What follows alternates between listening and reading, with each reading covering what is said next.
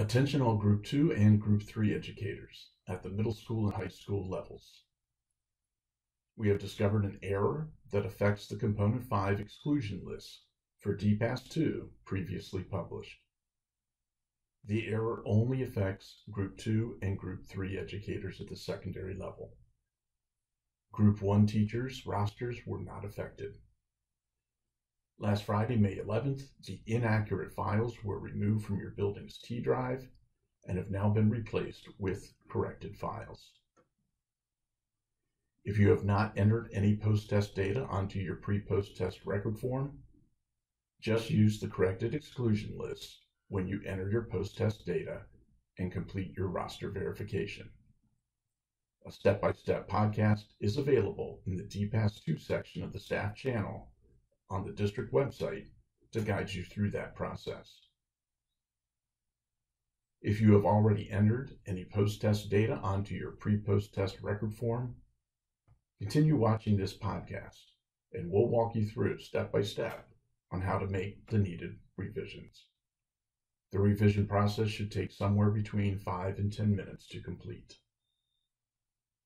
Let's get started. Open the pre-post test record form that you've already completed. Here's my completed form.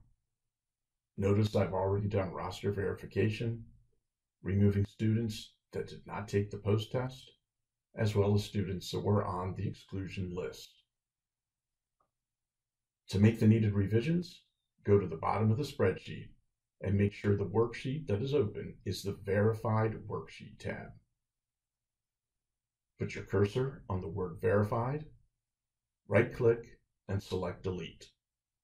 A pop-up will appear asking if you're sure you want to delete. Go ahead and click delete. We now have two tabs in this Excel file, pretest and post-test. Our next step is to make an identical copy of our post-test worksheet.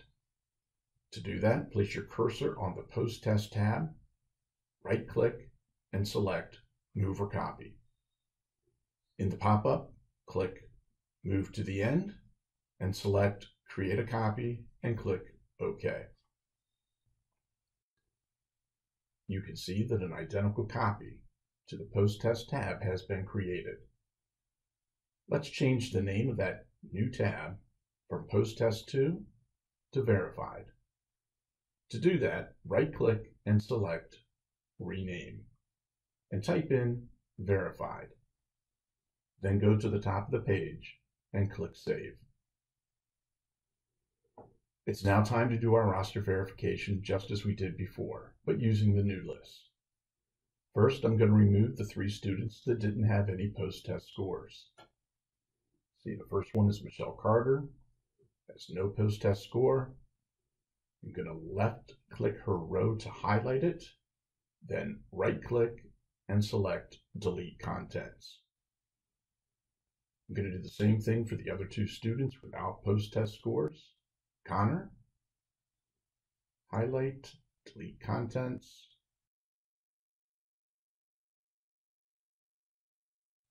and Kim, highlight and delete contents.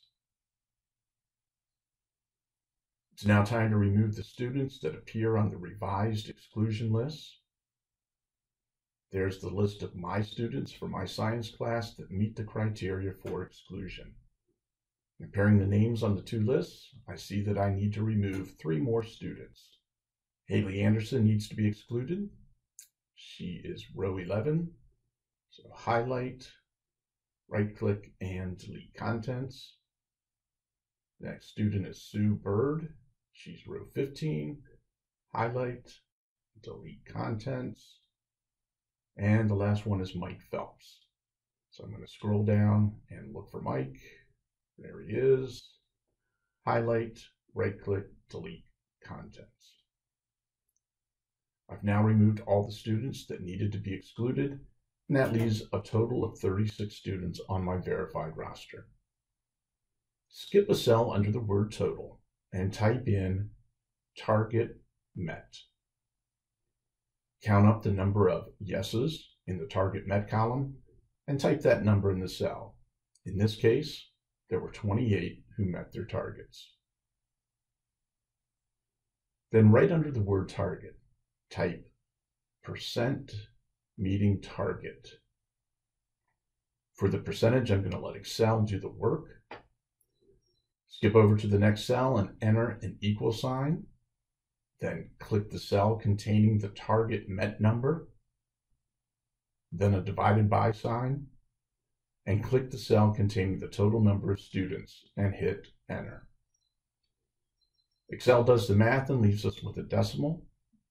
To convert to a percentage, highlight the cell, then go to the toolbar and look for the percent button and click it.